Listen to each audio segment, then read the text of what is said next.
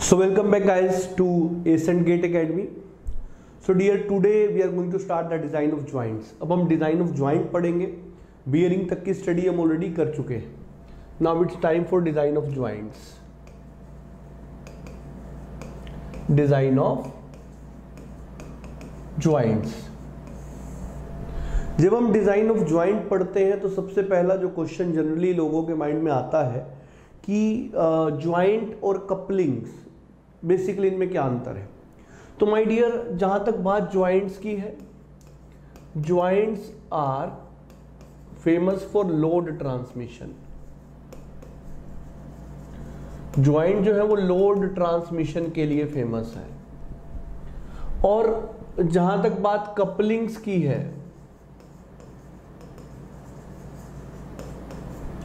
वो power transmission के लिए फ़ेमस है।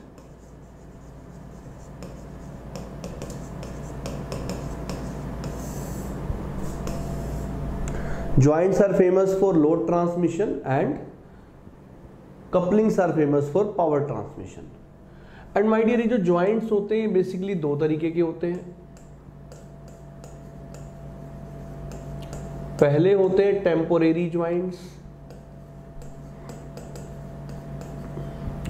और दूसरे होते हैं परमानेंट ज्वाइंट्स टेम्पोरेरी ज्वाइंट्स की अगर हम बात करें इसमें कौन कौन सी चीज़ें आती हैं इसमें आते हैं जो मतलब टेम्परेरी मतलब जो आ, मतलब जैसे मैं बोलूँ बोल्टेड ज्वाइंट है। एक बार नट और बोल्ट लगा फिर नट हटा लिया बोल्ट फिर कहीं और लगा दिया तो टेम्परेरी हो गया।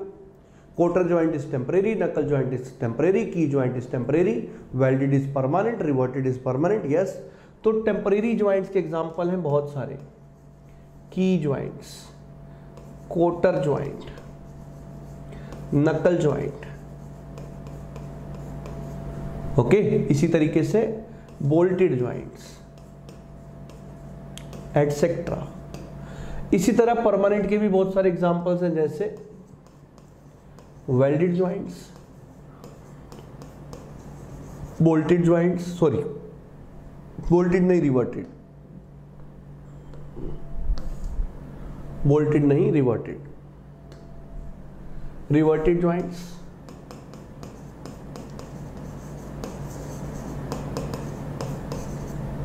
और कौन से हो सकते हैं? वेल्डिड हो गए रिवर्टेड हो गए। और कौन कौन से हो सकते हैं? Brazed joints soldered et cetera so ये टेम्परेरी और परमानेंट ज्वाइंट का एक क्लासिफिकेशन सा है। तो टेम्परेरी और परमानेंट ज्वाइंट्स के जो क्लासिफिकेशन है, अब प्रश्न ये है कि हमें इनमें से कौन कौन से पढ़ने हैं? कौन कौन से इनमें से हमारे सिलेबस का हिस्सा है?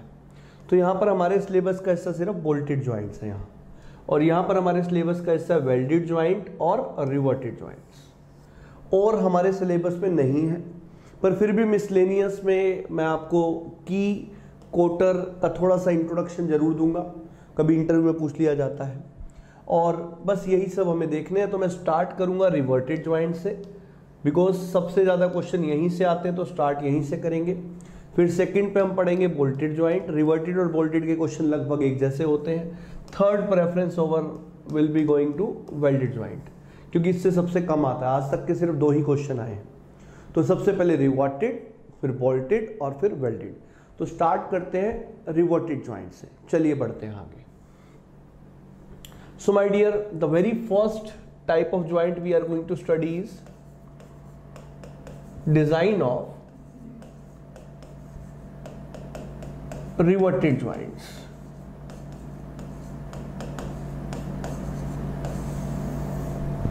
अगर हम डिज़ाइन ऑफ़ रिवर्टेड जॉइंट्स की बात करें सबसे पहले हमें देखना होगा रिवर्ट होता क्या है rivet is like this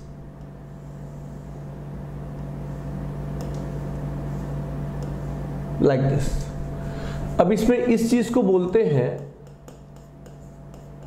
revert head इस चीज़ को बोलते हैं शेंक और इस चीज़ को बोलते हैं टेल और यहाँ पर जो रिवर्ट हेड हेड शेंक और टेल की अगर मैं बात कर रहा हूँ तो ये जो शेंक है, इसका डायमीटर ही basically rivet diameter D R कहलाता है. So D R is rivet diameter.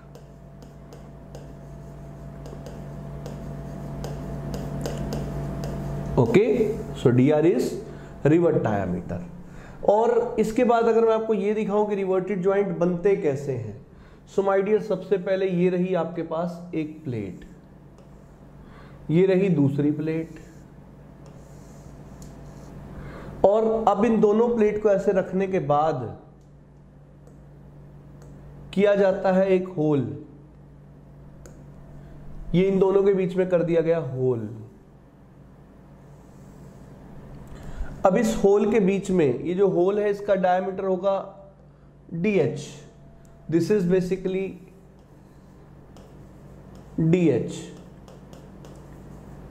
hole diameter and it is obvious that कि जो होल डायमीटर है, वो रिवर्ट डायमीटर से ज़्यादा होगा। अब आपको कुछ नहीं करना, आपको यहाँ पे रिवर्ट को पुट कर देना है।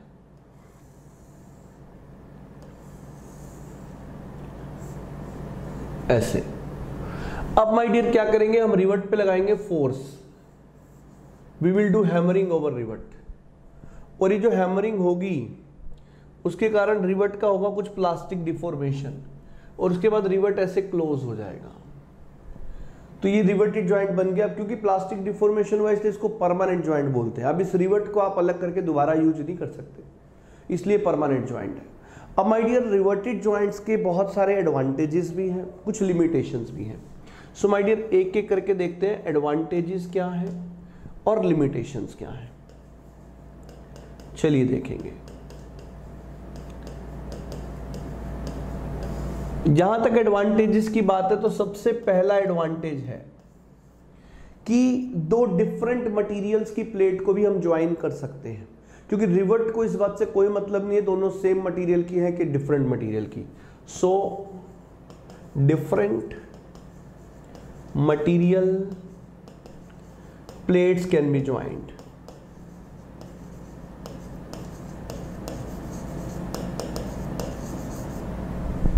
second. जैसे डिफरेंट मटेरियल प्लेट को जोड़ सकते हैं, ऐसे डिफरेंट थिकनेस प्लेट्स को भी जोड़ सकते हैं।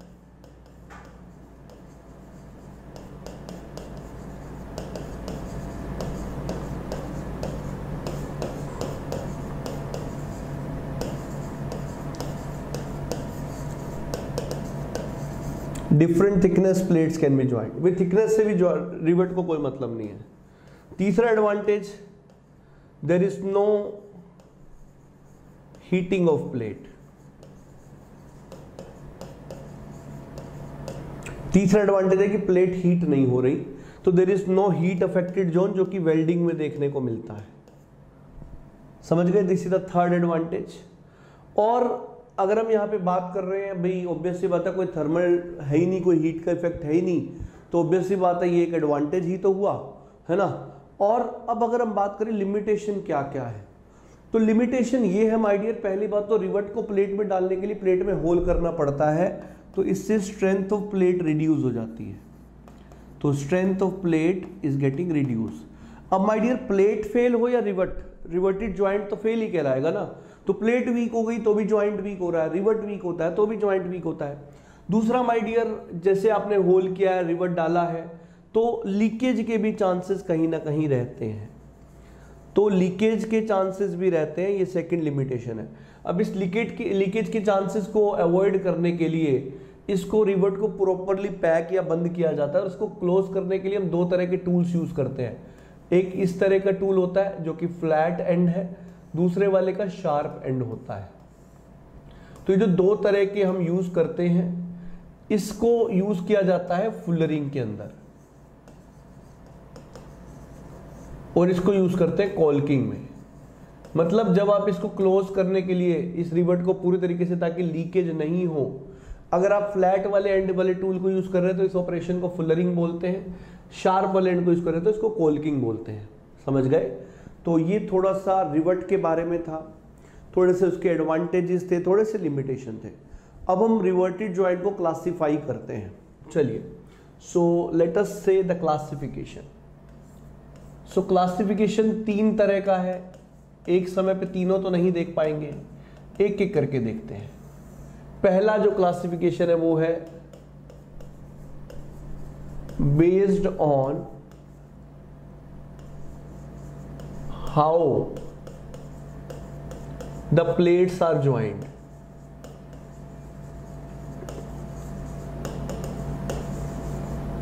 based on how the plates are joint इस बात पे बेस करते हुए कि प्लेटों को कैसे जोड़ा गया है। ठीक है? तो अगर इस पर बेस्ड अगर हम बात करेंगे कि प्लेट्स को कैसे जोड़ा गया है तो मैंने आपसे कहा जनरली दो तरह के ज्वाइंट्स होंगे फिर। एक होता है लैप ज्वाइंट और दूसरा होता है बट ज्वाइंट अब लैप ज्वाइंट की बात करते हैं। मैंने आपसे कहा कि ये देखो, ये रही दो plates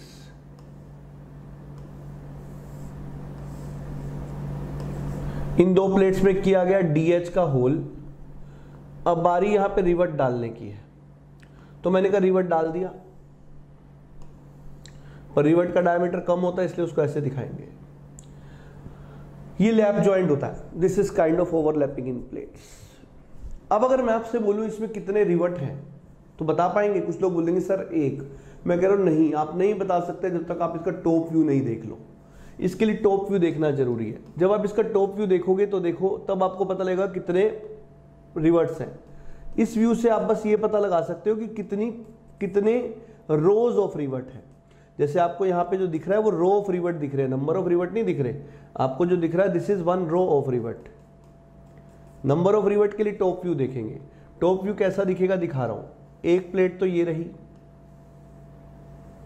this is one plate फिर दूसरी प्लेट ये रही।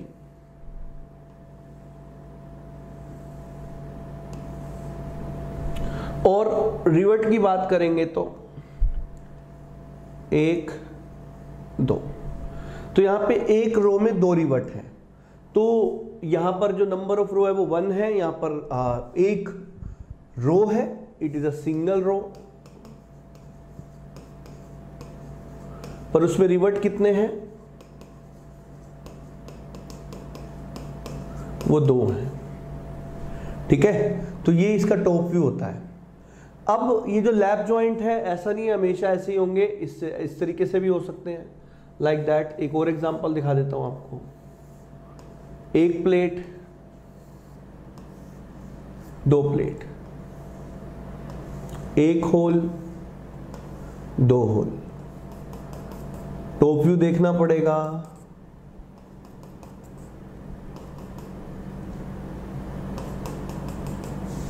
तो ये एक प्लेट बना देते हैं। ठीक है? फिर ये दूसरी प्लेट बना देते हैं।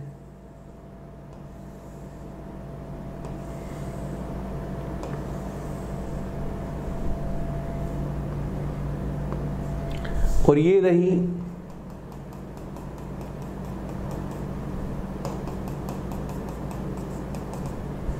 रो ऑफ़ रिवर्ट्स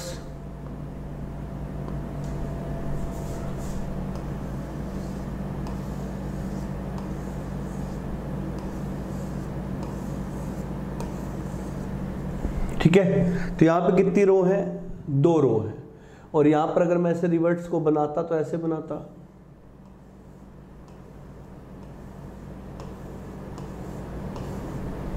तो यहाँ पे रो कितनी है? डबल रो ज्वाइंट कैसा है? लैप और रिवर्ट्स कितने हैं हर रो में? थ्री थ्री रोज पर थ्री रिवर्ट पर रो अब बात है बट ज्वाइंट की. बट ज्वाइंट दो तरीके के होते हैं. One is single strap and other is double strap अब प्रश्न ये स्ट्रैप क्या है? भाई बट ज्वाइंट ऐसे होते हैं। लैप ऐसे होते हैं तो इनमें होल करके रिवर्ट घुसा दिया। अब ये ऐसे होते हैं। अब इनके बीच में तो आप रिवर्ट डाल नहीं दोगे, है ना? तो इसको जोड़ने के लिए हमें स्ट्रैप प्लेट लगानी पड़ती है। कैसी होती है स्ट्रैप प्लेट दिखा रहा हूँ।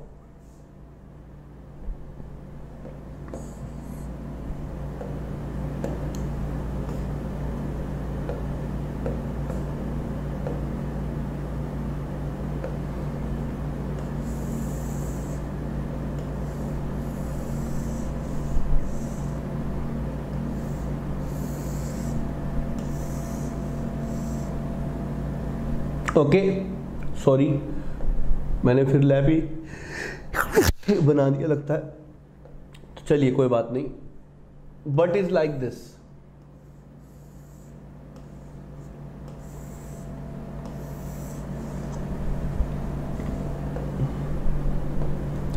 ये है स्ट्रैप प्लेट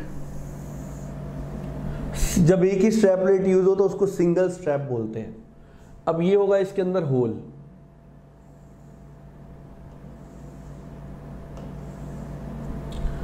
अब इसका टॉप व्यू भी साथ साथ देख लेते हैं भैया।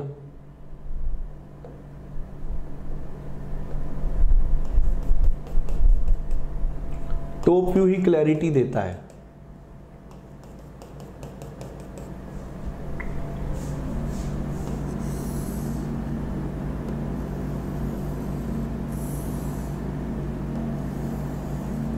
एक प्लेट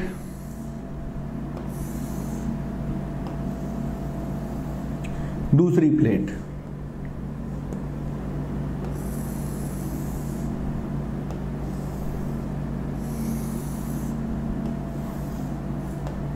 ये स्ट्रैप प्लेट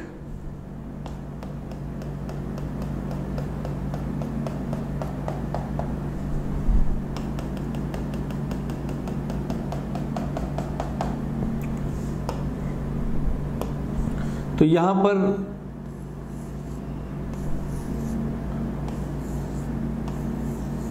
इस तरीके से। रिवर्ट को ऐसे दिखाएँगे।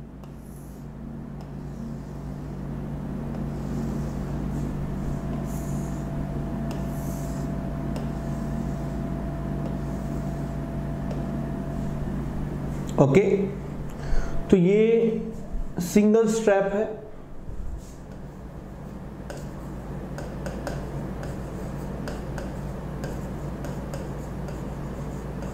सिंगल स्ट्रैप और दो प्लेट्स ऐसे हैं तो ज्वाइंट कौन सा है? Butt joint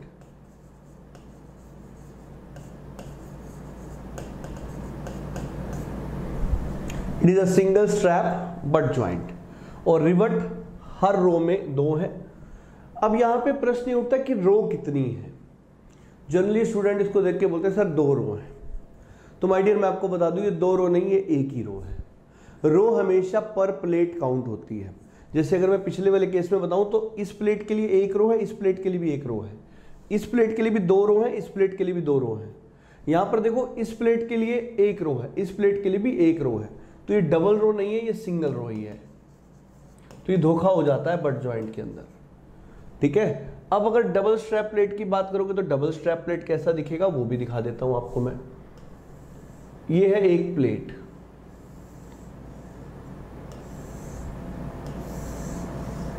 ये है दो प्लेट। इनके टॉप व्यू के लिए पहले से ही काम कर लेते हैं अपन।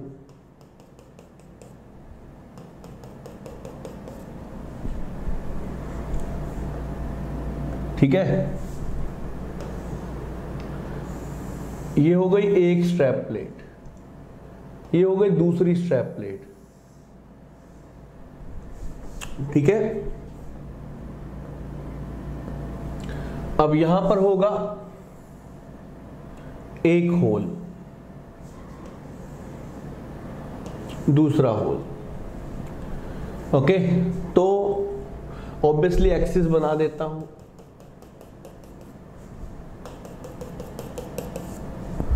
अब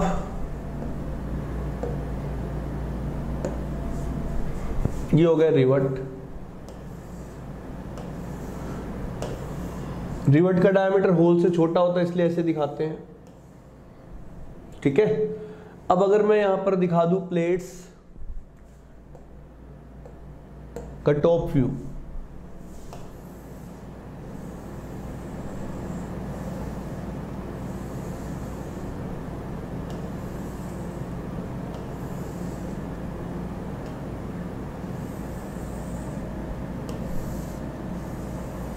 लाइक दिस अब इसमें बनाने हैं रिवर्ट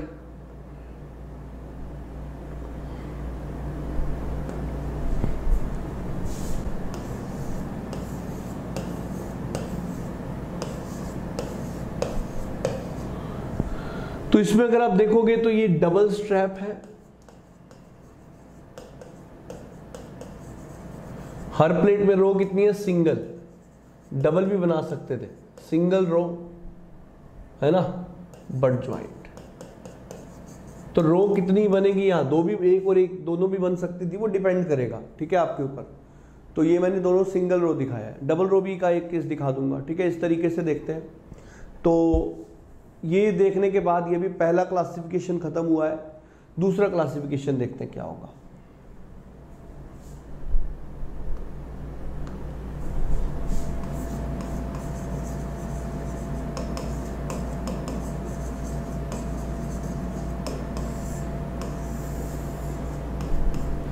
Second is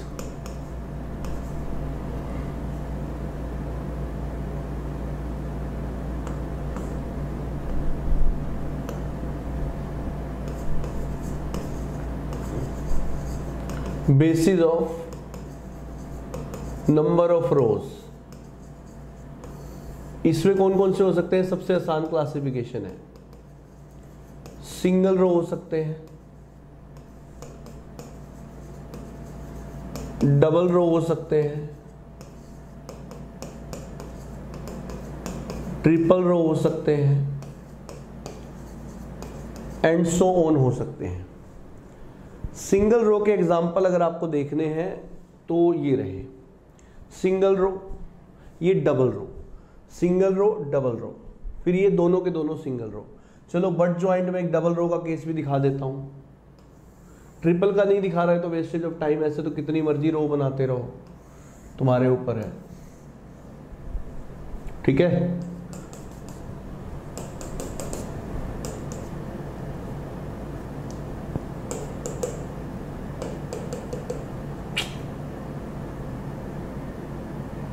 इसको यहीं तक रखते हैं। ओके? तो टॉप व्यू में ये एक प्लेट आ जाएगी। ये दूसरी। मुझे लगता है पिछले वाले में एक छोटी सी मिस्टेक किया हमने। और मिस्टेक ये है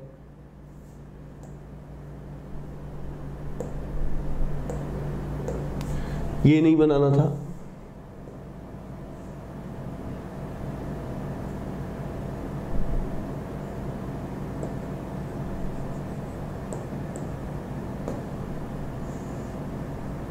यस ये ऐसा बनना चाहिए था। लाइक like दिस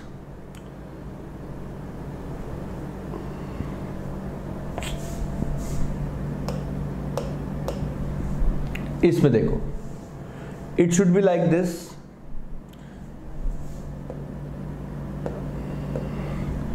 ये वाली चीज़ नहीं होनी चाहिए थी। और ये ऐसा होना चाहिए था।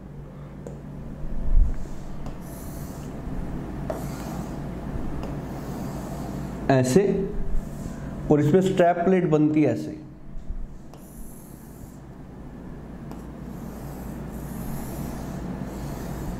Like this okay so I have corrected it hope आप आप समझ गए होंगे। अब इसको देखते हैं। इसमें मैंने कहा सिंगल स्ट्रैप है। तो सिंगल स्ट्रैप को भी बना ही लेते हैं साथ साथ ताकि गलती हो ही ना।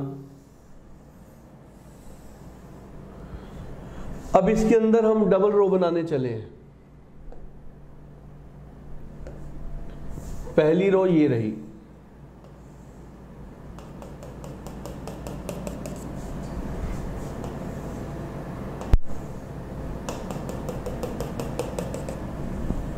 ठीक है?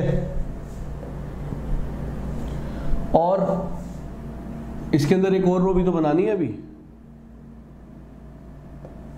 तो दूसरी रो ये रही,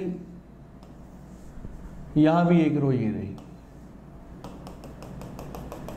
ये दूसरी रो। अब इन रोज के अंदर रिवर्स डाल दो।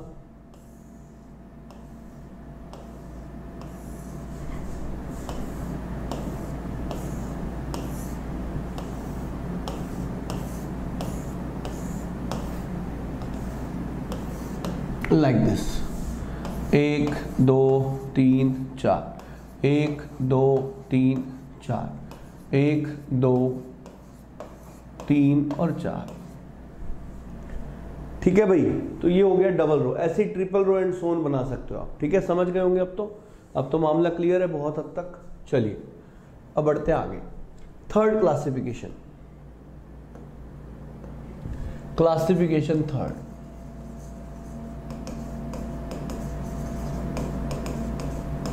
that is based upon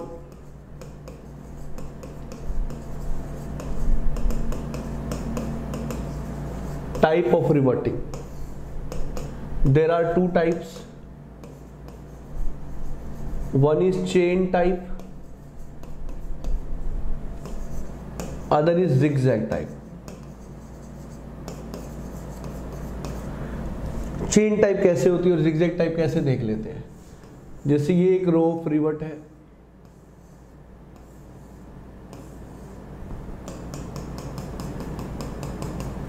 ये दूसरी रो ऑफ़ रिवर्ट है।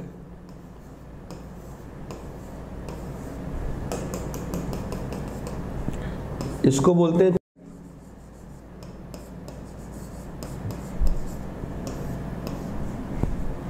अब जिगजैग टाइप देख लो।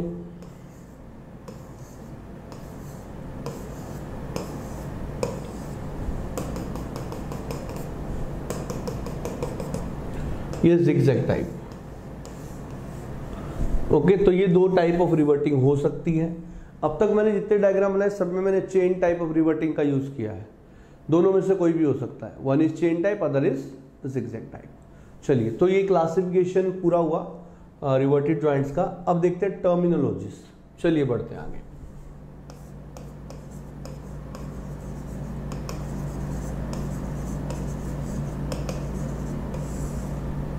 दो तरह की रिवर्टिंग बना रहा हूँ एक बार फिर।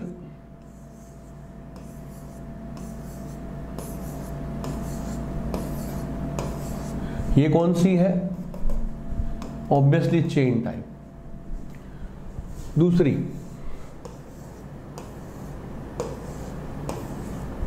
ये कौन सी है? जिगजैग टाइप तो माय डियर टर्मिनोलॉजीज में क्या क्या चीज़ें हम देखते हैं वो भी दिखा रहा हूँ आपको। सबसे पहली चीज़ होती है गेज लाइन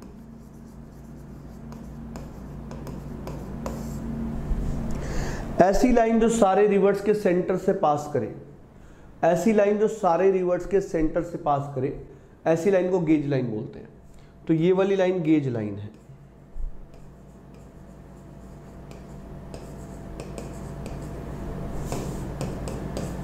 ये क्या है?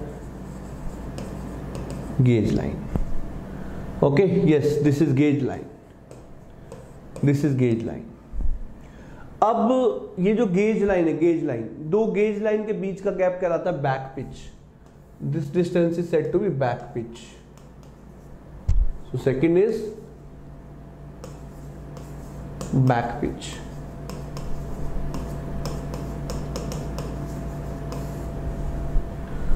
so this is back pitch ठीक है भाई? अब एक ही गेज लाइन के लॉन्ग दो रिवर्ट्स के सेंटर का गैप एक ही गेज लाइन के लॉन्ग दो रिवर्ट के सेंटर का गैप कहलाता है pitch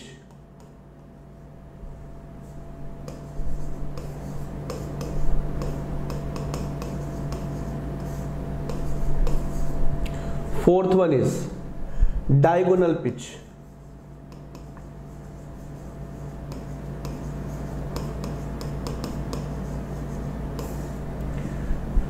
तो दो डायगनली अपोजिट रिवर्ट्स के सेंटर का डिस्टेंस कहलाता है डायगोनल पिच दो डायगनली अपोजिट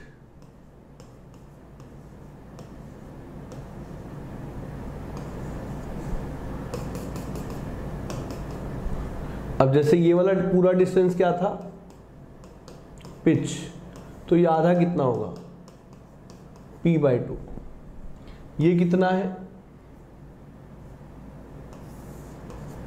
बैक पिच तो आप डायगोनल पिच का फॉर्मूला अगर निकालेंगे दोनों के लिए, यहाँ भी ये क्या है? बैक पिच तो अगर आप डायगोनल पिच का फॉर्मूला निकालेंगे तो दोनों के लिए अलग अलग आएगा। पहले वाले के लिए आएगा P square plus P B square और दूसरे वाले के लिए आएगा P by two square plus P B square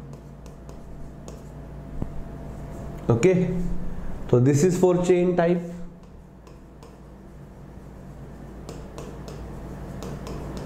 this is for zigzag type.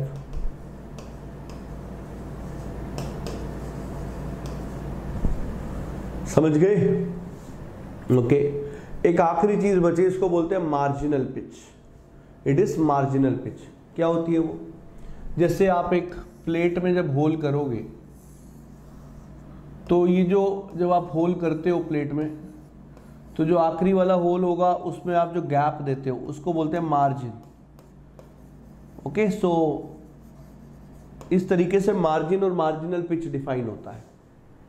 ठीक है भाई? क्योंकि मार्जिन होना ज़रूरी है मार्जिन नहीं होगा अगर होल ये प्लेट पे ही आ गया और अभी भी फेलियर की चांस ज़्यादा होंगे, यहाँ से फेल होना आसान है। तो इसलिए हमेशा एक मार्जिनल पिच को प्रॉपर रखते हैं 2.5 से three times of diameter marginal pitch is kept to be 2.5 to three times of diameter of hole तो ये थी टर्मिनोलॉजी ऑफ़ रिवर्टेड जॉइंट ठीक है? अब बात है, हमें डिज़ाइन करना है। जब हम बात डिज़ाइन की कर रहे हैं तो डिज़ाइन दो तरह की लोडिंग के लिए करना है।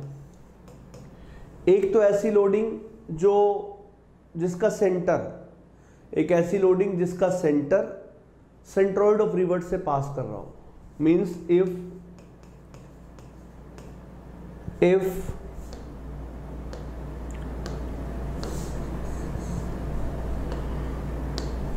line of action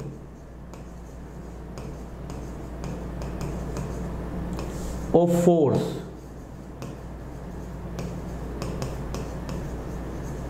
is passing through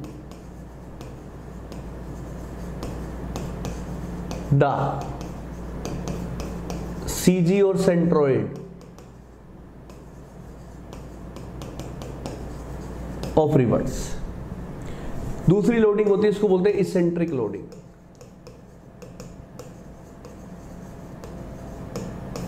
if line of action of force is eccentric to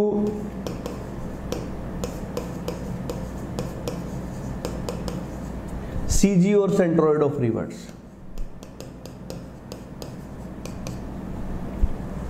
समझ गए? This is the case I wanted to discuss तो ये दो केसेस देखने पहले देखेंगे हम ये वाला फोर ये वाला केस फिर दूसरा देखेंगे सेंट्रिक लोडिंग गेट के लिए ज़्यादा कौन सा इंपॉर्टेंट है? ऑब्वियसली सेंट्रिक लोडिंग मतलब अब ये मान के चलो कि यहाँ से एक क्वेश्चन श्योर शॉर्ट होता है। अब वो कभी कभी समटाइम्स यहाँ से आ जाता है। जैसे आज तक की फ्रीक्वेंसी बताऊँ तो यहाँ पे आज तक सिर्फ़ एक बार आया है। बाकी हर बार क्वेश्चन यहीं से आया है। ये रिवर्टेड से भी बनता है, या वोल्टेड से भी बनता है, ठीक है?